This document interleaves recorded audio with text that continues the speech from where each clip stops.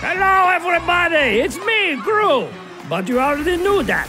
And I've got some tips to help you get through this challenging time. First, practice physical distancing. I'm sorry, I did not see you there.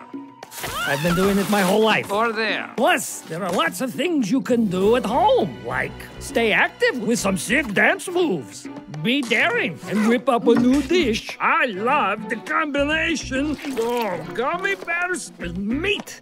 You can do video calls for all of your important meetings. What? Sorry. Or just have some fun. Okay, not that much fun. Now, this does not come naturally to me, but try to be kind to each other. This is a tough time for everyone. So, that's it. Stay home, stay healthy, and remember, we're all in this together. What? But totally separate. You know what I mean. Yeah!